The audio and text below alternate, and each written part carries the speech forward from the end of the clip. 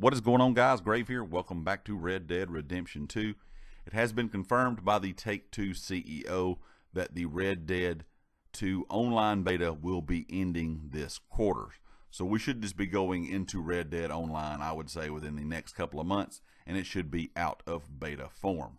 I will link this article down in the description below. All of this information is coming from Take Two's kind of quarterly earnings report where they talked about kind of all their games, but they did give us a good bit of information about Red Dead, which is a good thing in my opinion because we don't we really haven't got a lot of information as of late.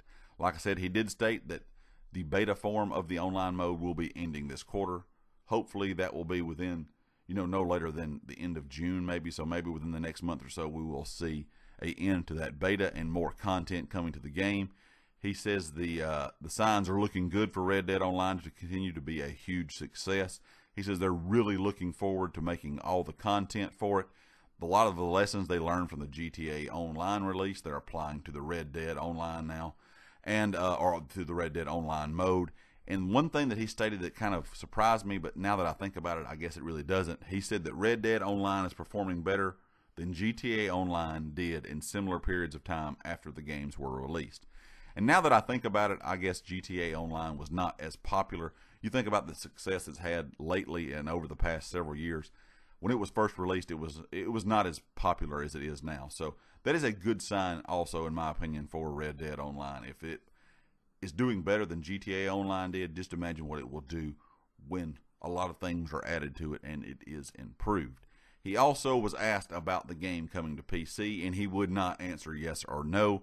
My opinion is it will because they said that PS4 and Xbox sales have slacked off. They've sold 24 million copies on console, which is a incredible number.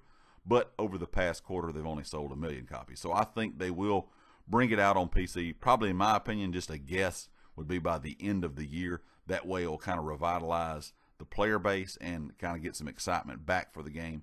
Because a lot of people that play only on PC have not had a chance to play this yet. I used to play a lot on PC. I don't anymore, but I'm excited for this to come to PC for one reason. If you think about when GTA was released on PC, it made the game just explode once again, kind of in the community. And once that game was released on PC, they had tons of updates for the online mode, and that's really when the online mode took off, in my opinion. Also, I think it will be good for the game as a whole because you will have more available content for maybe single player and tons of daily content and updates for the online mode. So I think this game coming to PC, being out on all platforms, will be great for the game as a whole. Leave me a comment, guys. Let me know what you think about this news. And of course, if you like the video, hit the like. If you have not subscribed yet, please do so. I'll catch you guys next time. Peace.